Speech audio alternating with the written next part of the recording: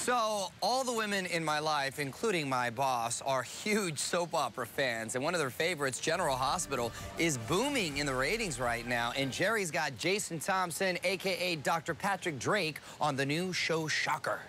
Robin Scorpio alive and rescued.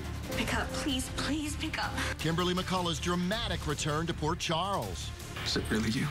Is she too late to stop Patrick from marrying Sabrina? A lot of people believe that these two characters, Patrick and Robin, belong together. But this is General Hospital, and nothing, not even true love, ever goes according to plan. It was shocking a year and a half ago now when Kimberly left and that Robin, you know, supposedly died. The fact that she's alive now is still trying to figure out how I'm going to play this.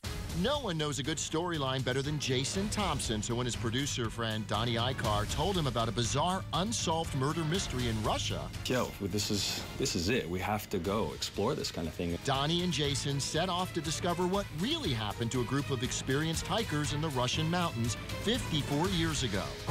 So right by the tent, a incident happened that scared all the hikers out of the tent. They were later found barely clothed and had some violent injuries.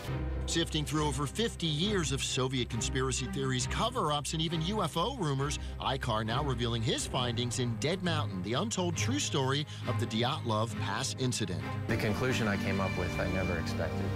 Dead Mountain in bookstores now. Jason's love triangle playing out every day on ABC.